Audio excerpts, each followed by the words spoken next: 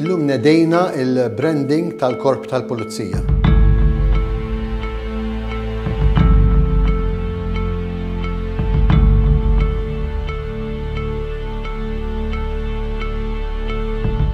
Kif ukoll anka eh, għaxar karozzi ġodda li ħa jkunu qed jintużaw mid-distretti bħala parti mit-tisħiħ tad-distretti fil-Korp tal-Pulizija. Dan huwa parti minn bidla sħiħa illi sa tkun għaddejja li ma tirrigwardjax biss karozzi, uniformijiet, il-metodu kif jaħdmu il-pulizija u anka il-possibilità illi fi ftit ġimgħa oħra nkunu qegħdin naraw il-ftehim kollettiv tal-pulizija jiġi finalizzat biex apparti l-overtime li qed jingħata lil membri tal-Korp tal-Pulizija meta jagħmlu fixed point.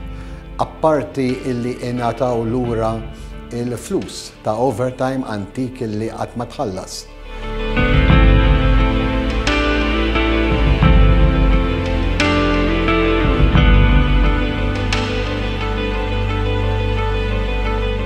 Dawn huma partijiet żgħar bil-titjib li qegħdin naraw li jseħħ fil-Korp tal-Pulizija illi fl-aħħar mill-aħħar irid iwassal biex il-poplu Malti u Għawdxi jkompli jinqeda ferm aktar aħjar għal sigurtà tiegħu u ta' pajjiżna.